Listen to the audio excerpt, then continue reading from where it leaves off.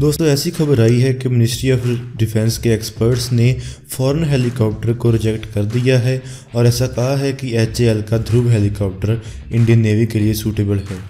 Indian ministry of defence نے ایک proposal جاری کیا تھا جس میں 21,738 کروڑ کا پروجیکٹ شروع کیا جانا تھا جس میں 111 نیول یوٹیلیٹی ہیلی کاپٹرز ایک انڈین پرائیویٹ سیکٹر فرم کے دوارا بنائے جانے تھے۔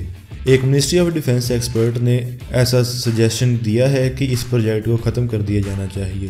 منسٹری آف ڈیفنس اور نیوی چاہتے تھے کہ نیول یوٹیلیٹی ہیلی کاپٹر کے لیے ایک فورن ہیلی کاپٹر کو چنا جائے، جسے کہ اسٹریٹجک پارٹنر ماڈل کے تحت انڈیا کی ایک بڑی کم، ایک بڑی پرائیویٹ فرم کے دوارا بنایا جائے۔ اس ہیلی کاپٹر کو بنانے کے لیے technology original equipment manufacturer supply کرے گا۔ Former integrator defence staff chief vice admiral Raman Puri جنہیں کی ڈپارٹمنٹ آف ڈیفنس پروڈکشن کے لیے کنسلٹنٹ کے طور پر اپوائنٹ کیا گیا تھا انہوں نے کہا ہے کہ ہمیں نیول یوٹیلیٹی ہیلی کاپٹر کے لیے فورن ہیلی کاپٹر کی ضرورت نہیں ہے کیونکہ انڈیا کے ہندوستان ایونوٹکس لمیٹڈ ایک پوزیشن میں ہے کہ وہ انڈین نیوی کو انڈینس Dhruv advance light helicopter کا ایک نیول ورژن سپلائی کر سکتی ہے پوری نے انڈینس دھرو چاپر کو کسی بھی فورن ڈیزائن کے اوپر ریکمینڈ کیا ہے۔ ان کا کہنا ہے کہ ڈیفینس پروکیورمنٹ پالیسی کا چیپٹر ٹو ایسا کہتا ہے کہ کسی بھی انڈینس ڈیزائن کو کسی بھی فورن ڈیزائن کے اوپر پریفرنس ملنی چاہیے۔ اس سے پہلے نومبر انیس کو منسٹری آف ڈیفنس نے ایچ ایل کو اس کے کامنٹس کے لیے پوچھا تھا، جس میں ایچ ایل نے کہا تھا کہ وہ کنسلٹنٹ دوارا دیے گئے وی پوائنٹس کے اگریمنٹ میں ہیں۔ ایچ اے ایل نے منسٹری آف ڈیفنس کو پوائنٹ آؤٹ کیا کہ Dhruv advance light helicopter Indian navy اور کوسٹ گارڈ میں تقریباً دو دشکوں سے آپریٹ کر رہا ہے۔ اے ایل ایچ نے اپنی روبسٹنیس کو سبھی آپریٹنگ کنڈیشنز میں امپروو کیا ہے اور ابھی تک اس ہیلی کاپٹر کی دو سو اسی یونٹس آپریٹ کر رہی ہیں۔ انڈین نیوی نے ایک فورن ہیلی کاپٹر خریدنے کا فیصلہ لیا تھا کیونکہ دھرو ایڈوانس ہیلی کاپٹر کے پاس فولڈیبل روٹر بلیڈز نہیں تھے۔ ایسا نہ ہونے کے کارن ان ہیلی کاپٹرز کو نیوی کے شپس کے اوپر اچھی طرح سٹور نہیں کیا جا سکتا۔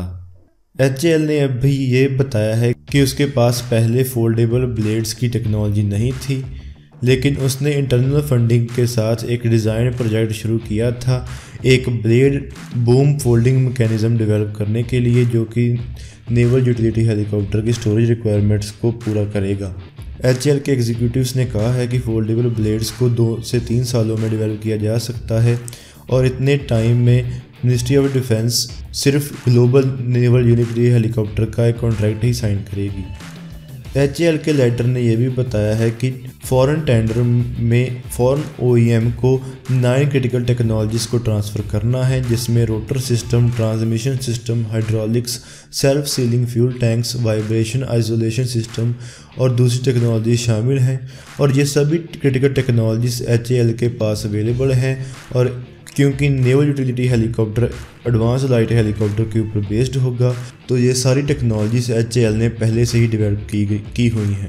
ایچ اے ایل نے اس کے ساتھ ہی دعویٰ کیا ہے کہ اس کے پاس اور بھی بہت ساری کرٹیکل اور ایڈوانس ٹیکنالوجیز اویلیبل ہیں، جیسے کہ avionic systems glass cockpit composite airframe technologies etcetera اور وہیں پوری کی ریکمنڈیشن نے یہ بھی بتایا ہے کہ کسی بھی فورن ہیلی کاپٹر کو خریدنا ایک پیسوں کی ویسٹیج ہوگی کیونکہ اس میں ہمیں ٹرانسفر آف ٹیکنالوجی کے لیے بھی پیسے دینے ہوں گے اور مینوفیکچرنگ کیپیبلٹی کو بھی ڈیولپ کرنا ہوگا۔ اور وہیں یہ سبھی ٹیکنالوجیز اور مینوفیکچرنگ کیپیبلٹیز ایچ ایل کے پاس پہلے ہی اویلیبل ہیں اور اس کے ساتھ ہی انہوں نے یہ بھی بتایا کہ ایک نئی کمپنی کو اس کے لیے مینوفیکچرنگ لائن کریٹ کرنی پڑے گی۔ اور ایک سو گیارہ نیول یوٹیلیٹی ہیلی کاپٹرز کو بلڈ کرنے کے بعد اس مینوفیکچرنگ لائن کا کوئی بھی استعمال نہیں ہوگا۔ اور اس کے ساتھ ہی ٹرانسفر آف ٹیکنالوجی کی قیمت بھی او ای ایم کو پے کرنی پڑے گی۔ اور اس کے ساتھ foreign naval utility helicopter Dhruv سے بہت زیادہ مہنگا پڑے گا۔ اور وہیں ایڈوانس لائٹ ہیلی کاپٹر کے اوپر based naval utility helicopter خریدا جاتا ہے، تو ٹیکنالوجی ٹرانسفر کی کوئی ضرورت نہیں ہوگی اور بہت زیادہ فورن ایکسچینج کی بھی بجت ہوگی۔ اس کے ساتھ ہی ایچ اے ایل نے پوائنٹ آؤٹ کیا ہے کہ وہ نیوی کی ریکوائرمنٹ کو میٹ کرنے کے لیے ویپنس اور سینسرز کو بھی انٹیگریٹ کر سکے گا اور اس پروڈکٹ کی لائف سائیکل کی کسی بھی سٹیج میں اس پلیٹ فارم کو وہ اپ گریڈ بھی کر پائے گا اور اس کے ٹیکنیکل ایشوز اور اس کی مینجمنٹ کو بھی وہ اچھی طرح کر پائے گا۔ پوری کے انٹروینشن اور ایچ ایل کے آرگومنٹ کو پرائیویٹ سیکٹر فرمز پسند نہیں کریں گی۔ منسٹری آف ڈیفینس کے ٹینڈر کو Tata advanced systems limited Adani defence Mahindra defence Reliance defence اور کلیانی گروپ نے رسپونڈ کیا ہے۔ اس کے ساتھ ہی ایچ اے ایل نے دو رسپانس سبمٹ کیے ہیں۔ ایک اس نے اپنے انڈیویجول کیپیسٹی میں سبمٹ کیا ہے اور دوسرا، اس نے ایک رشین ہیلی کاپٹرز کمپنی کے ساتھ جوائنٹ وینچر میں سبمٹ کیا ہے، جسے اس نے Indo Russian Helicopters Limited کا نام دیا ہے۔